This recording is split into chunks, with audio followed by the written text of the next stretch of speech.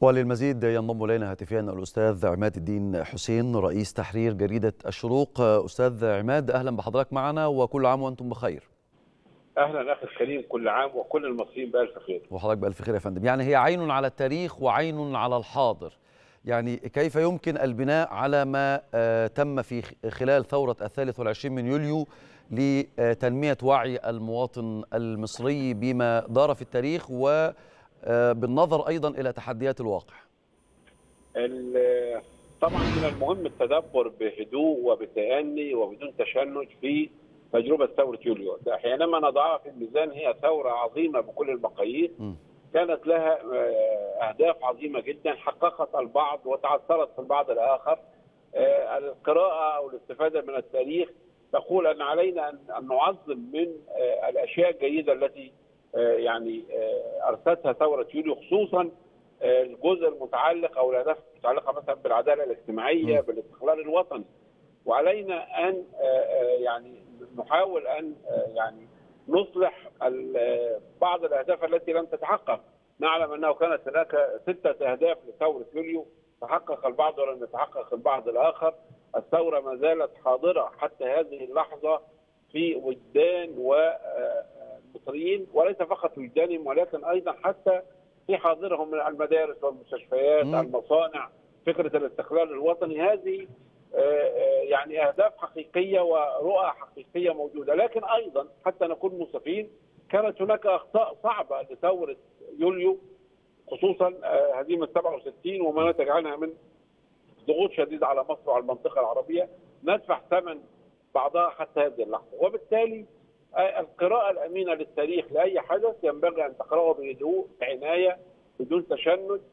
نأخذ الجزء الجيد فيه ونترك الجزء غير الجيد. ربما أيضا يعني احتفالنا بالذكرى الثانية والسبعين لثورة الثالث والعشرين من يوليو يلقي الضوء. أستاذ عماد إذا كنت توافقني على إبراز دور مصر الإقليمي والدولي.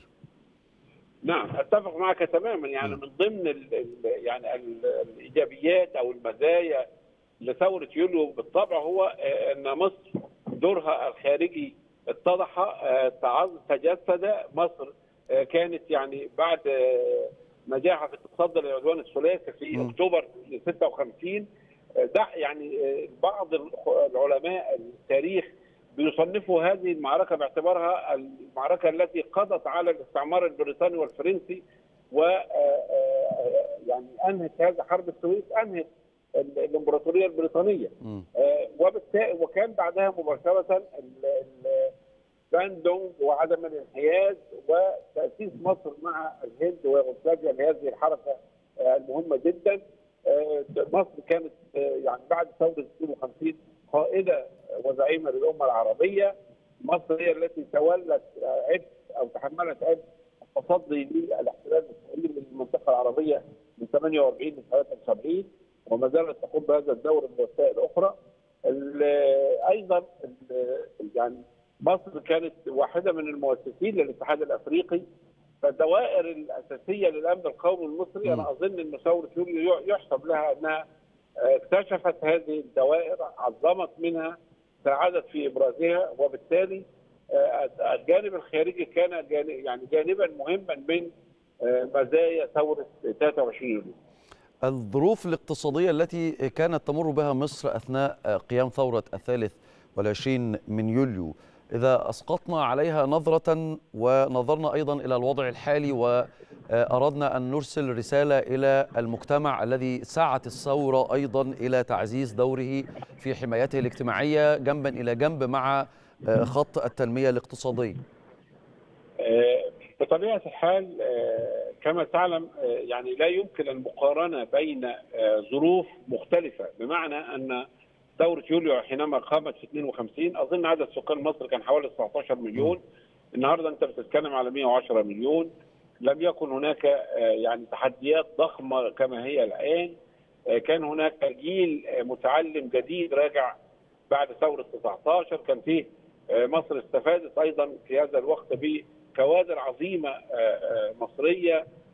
كان عندنا نهضة عظيمة في الأدب والفن والثقافة والفكر. ده حقيقي. الآن يعني طبعا ممكن نأخذ بعض المؤشرات وهي فكرة الاستقلال القرار الوطني فكرة التنمية المستقلة. هذا أمر مهم للغاية. الظروف الاقتصادية لا ينبغي أن ننزعها من سياقها لكن علينا في كل الأحوال أن يكون لديك أهداف أساسية هي التي نسعى إليها بغض النظر عن الظروف.